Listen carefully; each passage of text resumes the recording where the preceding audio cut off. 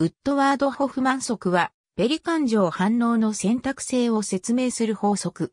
その内容から、軌道対称性保存則とも呼ばれる。1965年に、ロバート・バーンズ・ウッドワードとロアルド・ホフマンによって発表された。ウッドワード・ホフマン則は、反応の前後において、反応に関与する電子の所属する分子軌道の対称性は保存されると主張する。これによって様々なペリカン状反応が起こり得るか、どうか、またその立体特異性が説明される。規定状態の軌道相関図1電子冷気状態の軌道相関図エチレン2分子が2プラス2間化負荷反応によりシクロブタンを生成する反応について考える。この反応においては、エチレンの2つのパイ結合が切断され、2つのシグマ結合が生成する。また、同時に対応するパイ結合が切断され、シグマ結合も形成される。よって、これらに属する電子が反応に関与する電子である。次に反応系から生成系に向かって、これらの分子軌道のエネルギーがどのように変化していくかを考える。これを表す図を軌道相関図という。軌道相関図を描くには反応系と生成系について分子軌道を描き、対称性の同じものを軌道のエネルギーの低い順に結びつけていく。このようにして、軌道相関図を描くと切断された二つのパイ軌道のうち一つはシグマ軌道に、もう一つはシグマ軌道になることがわかる。規定状態のエチレンにおいては二つのパイ結合に四つのパイ電子が所属している。ウッドワード・ホフマン則によれば、反応の前後において、反応に関与する電子の所属する分子軌道の対称性は保存されるから、反応を前に2つのパイ軌道にあった電子は反応後に1つのシグマ軌道とシグマ軌道に所属することになる。パイ軌道にあった電子は、パイ軌道より生成するもう一つのシグマ軌道には移ることができない。これは、軌道の対称性が異なっているからである。このようにして、規定状態のエチレン同士が反応した場合、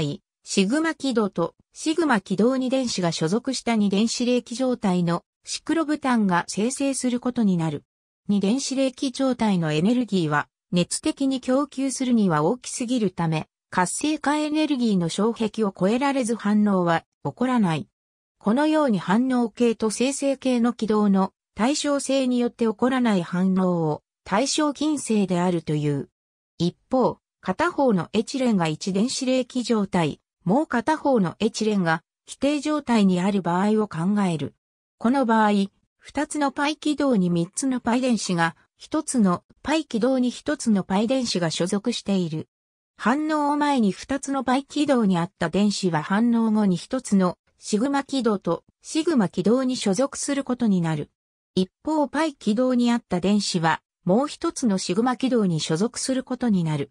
このようにして一電子冷気状態のエチレンと規定状態のエチレンが反応した場合、シグマ軌道に3つの電子、シグマ軌道に1つの電子が所属した1、電子冷気状態のシクロブタンが生成することになる。この冷気状態分のエネルギーは、最初に片方のエチレンを1電子冷気状態にするエネルギーで賄うことができる。そのため活性化エネルギーの障壁を超えて反応が可能となる。このように軌道の対称性の点からは、起こることが許されている反応は対象許容であるという。1、3、ペンタジエンにおいて5位の水素が1位の炭素上に転移するようなシグマトロピー転移を考える。この時、反応の仕方としては、水素が1、3、ペンタジエンの倍軌道の説明に対して、最初に存在したのと同じ側の面内で移動するタイプの反応と説明を挟んで、反対側の面へ移動するタイプの反応が考えられる。軌道相関図を描いてみると、規定状態においては、前者は対象許容であり、後者は対象近性であることがわかる。このように同じ分子の反応であっても、軌道の空間的な相互作用の仕方に、そのため、反応が対象許容であるか対象近性であるかを論じるためには、軌道の空間的な相互作用の仕方についても指定する必要がある。ウッドワードらは、この相互作用の仕方を以下のような用語によって指定することを提唱した。そして、ウッドワードらはこれらの指定の仕方を用いると、以下の場合に限って反応が対象許容となることを示した。例えばエチレン2分子からシクロブタンができる反応においては、電子数2のパイ軌道2つが反応に関与している。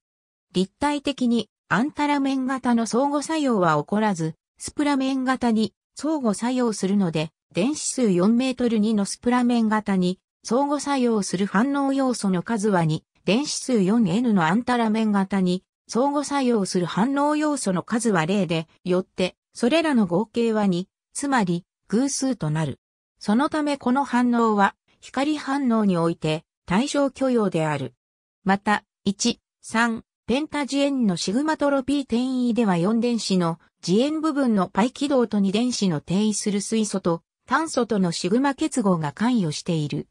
水素がパイ軌道の説明に対して最初に存在したのと同じ側の面内で移動する場合、自演部分のパイ軌道も炭素と水素のシグマ軌道もスプラメン型に関与する。電子数4メートル2のスプラメン型に相互作用する反応要素の数は1、電子数 4N のアンタラメン型に相互作用する反応要素の数は0で、それらの合計は1、つまり奇数となり、熱反応で対象許容となる。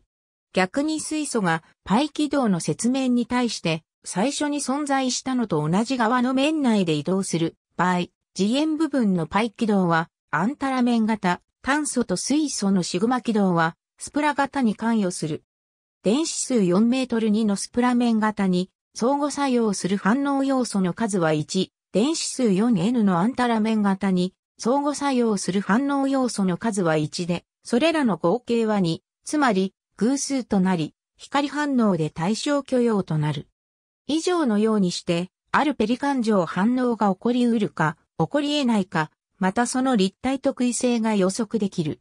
ホフマン則は、ホフマン脱離の生成物の選択性を予測するもので、ウッドワード・ホフマン則とは関係ない。ありがとうございます。